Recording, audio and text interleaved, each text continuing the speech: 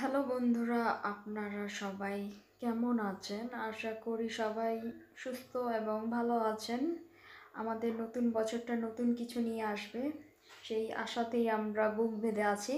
তো এগুলো আগের কিছু মেমোরি যেটা আপনাদের সাথে শেয়ার করব। যখন আমি ইতালিতে আসি, দুই হাজার ষোলো সাল থেকে দুই হাজার বিশ সালের পয়লা বৈশাখ আমি কীভাবে উদযাপন করেছি ওগুলার কিছু একটা সোলো পিক আপনাদেরকে দেখাবো আর আসলে।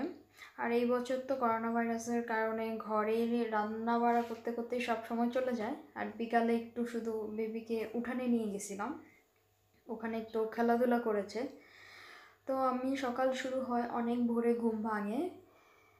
তো প্রতিদিনই ভাঙে, বাবুকে আসলে একটু খাওয়াতে হয়। তো পিটার খাওয়ানোর পরে ও একটু ঘুমায় না হলে ক্যাক ও কক করতেই থাকে। আর এখন আকাশটা অনেক বেশি সুন্দর অনেক বেশি নির্মল মলিন বাতাসটা অনেক বেশি সুন্দর হয়ে গেছে। আই মিন অনেক পরিষ্কার দেখা যায়। বায়ু দূষণটা কমে যাওয়ার কারণে মিলানের আকাশটা চাঁদ মামা দেখা যাচ্ছিল ভোরের দিকে। আসলে চাঁদ দেখা যায় এখানে।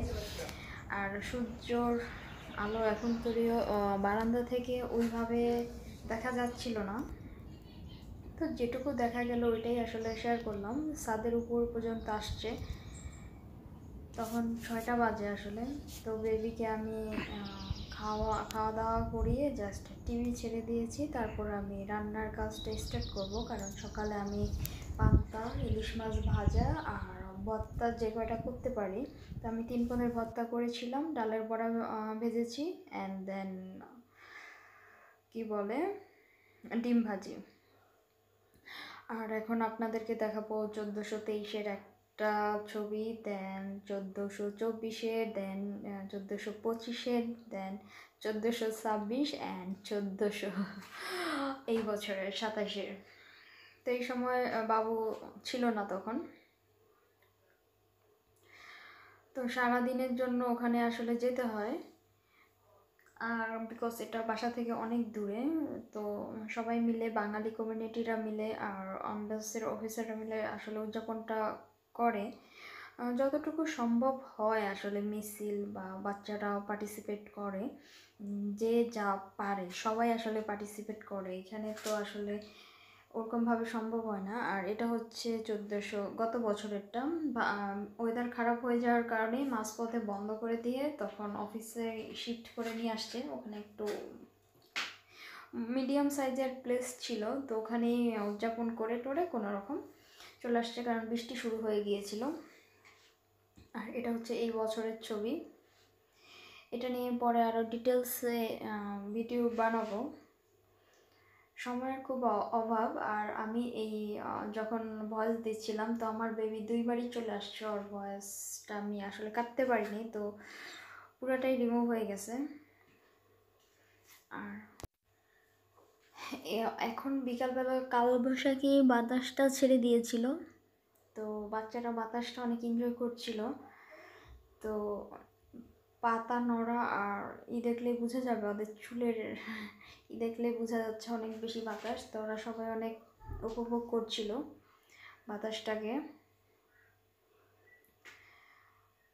আর ওর ওর পিছন পিছনই থাকতে হয়, যেহেতু ও বড়দের সাথে দৌড়াচ্ছে কখন কি পড়ে টরে যায়। কারণ ও একটু আসলে চঞ্চল।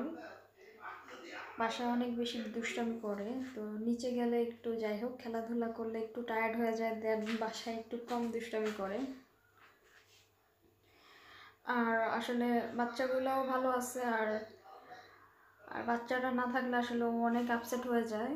তো খুবই মন খারাপ করে বসেছিল তখন, কারণ কোনো বাচ্চা ছিল না, পরে আসছে আর কি।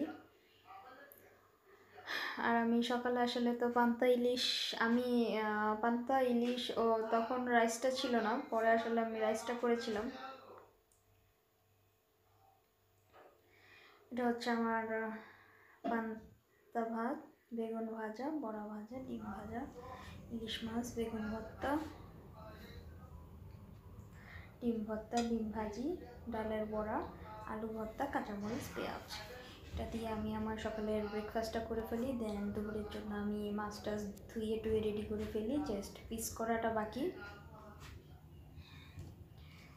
তো এটা হচ্ছে ওর বাবা কাটবে বলছিল।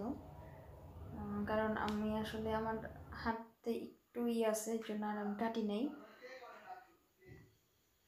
তো এইভাবেই আমার পয়লা বৈশাখ আমি উদযাপন করলাম। আপনারা, আপনাদের পয়লা বৈশাখটা কীভাবে উদযাপন করলেন জানাবেন। আর দুপুরে আমি আসলে মাছের তরকারি করেছিলাম, সরিষা দিয়ে। তো যেহেতু আমার চোখ অনেক ব্যথা করছিল, তিন ঘণ্টা ঘুমের কারণে, এর জন্য আমার তরকারিটা একটু লবণ বেশি হয়ে যায় মেরিনেট থাকার কারণে আর ঝোলটা শুকায় যাওয়ার কারণে। আর এটা কালকের ভাজি। এর জন্য কয়েকটা কথাও শুনতে হয়েছে। মানে আমার এফোর্টটাই মাটি হয়ে গেছিল। কি আর কি আর করার? তারপর আমি নিচে চলে যাই। বেবিকে নিয়ে কিছুক্ষণ ভালো সময় কাটালাম। ও অনেক হ্যাপি ছিল, আমিও অনেক হ্যাপি ছিলাম। তো বেবি হাই দিচ্ছে। আজকে, আর আজকে আমি করোনা ভাইরাসের নতুন আপডেটটা আপনাদেরকে দিয়ে দেব। তো আমাদের একটা শহরে নতুন করে আক্রান্ত হওয়ার সংখ্যাটা কমে যাচ্ছে। যাই হোক, এটা খুবই খুশির সংবাদ বাট মিলানে অনেক হচ্ছে, তেরো হাজার হয়ে গেছে। তো নতুন করে আক্রান্তের সংখ্যা, ইতালিতে, তো আমার হাজব্যান্ড ফোনে কথা বলছিল। অনেক, তার এটা অনেক, টোনটা অনেক মানে কি বলে অনেক বেশি। যাই হোক, নতুন করে আক্রান্তের সংখ্যা ছাব্বিশশো সাতষট্টি জন, সুস্থ হয়েছে নয়শো বাষট্টি জন, আর মৃতের সংখ্যা পাঁচশো আটাত্তর জন। সর্বমোট এই পর্যন্ত আক্রান্ত হয়েছে এক লক্ষ পঁয়ষট্টি হাজার একশো পঞ্চান্ন জন। সুস্থ হয়ে বাড়ি ফিরেছে আটত্রিশ হাজার বিরানব্বই জন। মৃত্যুবরণ করেছে একুশ হাজার ছয়শো পঁয়তাল্লিশ জন। যাই হোক, নতুন করে আক্রান্তের সংখ্যা দিন দিন কমে যাচ্ছে। আমরা পজিটিভ আছি, আশা করি। এভাবে চলতে থাকলে মেয়ের দিকে অনেকটাই ইতালি উঠে দাঁড়াতে পারবে। আমরা নতুন সূর্য দেখতে পারব। আর আমি চুলায় বেগুন পড়া বসাইছিলাম। ফাঁকে ফাঁকে ভিডিও করছিলাম। আপনাদের সাথে শেয়ার করব বলে। একটু একটু জাস্ট ক্লিপগুলো রেখে দিচ্ছিলাম